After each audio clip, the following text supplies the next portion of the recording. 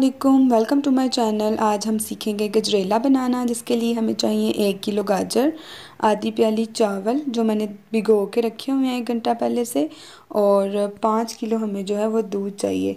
तो दूध को मैंने पहले से ही बॉईल कर लिया। अब हम गाजरों को जो है वो एक पतीले में डाल के इनका पानी जो है वो अच्छे से खुश्क कर लेंगे। ताकि ये अच्छे से भुन भी जाएँ और इनका पानी भी खुश्क हो जाए और ये नरम भी हो जाए थोड़ी सी क्योंकि अक्सर का मैंने गजरेला जो है वो खाया तो होता तो टेस्टी है, लेकिन उसके अंदर गाजरें जो होती हैं ना, वो भी सख्त होती हैं। तो पहले से हम गाजरों को इस तरह भूनेंगे ताकि ये थोड़ी नरम भी पड़ जाए, इनका पानी भी खुश्क हो जाए। तो जब थोड़ा सा ये नीचे लगना स्टार्ट होंगी, तब भी हम इसमें दूध ऐड करेंगे। और इसी पॉइंट पे हमें पता चलेगा कि इसके अंदर अब पानी जो है वो बिल्कुल ख़त्म हो चुका है। तो आप इसको अच्छी तरह से भूनिएगा और बहुत ही टेस्टी और यमी किस्म का ये गजरेला बनेगा। मेरा देखिए ये नीचे लगना स्टार्ट हो गया अब मैंने इसके अंदर दूध ऐड कर दिया।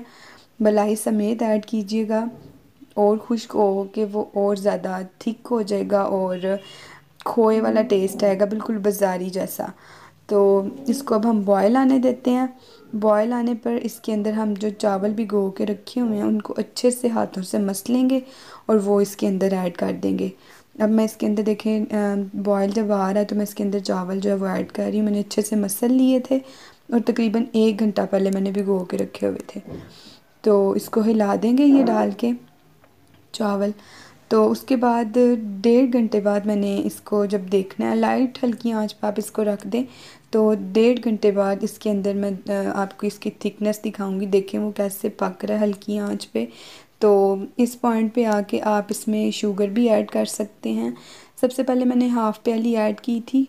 तो आप अपने टेस्ट के हिसाब से ऐड कर सकते हैं और बाद में मैंने फिर इसके अंदर हाफ़ प्याली और डाली थी।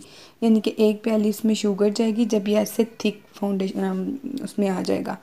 तो ये देखिए, मैंने हाफ़ प्याली जो है वो मैंने इसमें दोबारा ऐड किया तो शुगर ऐड करके आप इसके अंदर घोटा भी लगा सकते हैं, ताकि जो चावल और गाजरें हैं वो खड़ी खड़ी ना रहें, अच्छे से इसके अंदर मिक्सअप हो जाएँ। तो तकरीबन तीन घंटे लगे थे मुझे इसको पकाने में। तो ये अब देखें, आप इसका तीन घंटे बाद इसकी क्या लुक आती है तो फिर इसको आप डिश आउट करके तो खाइएगा।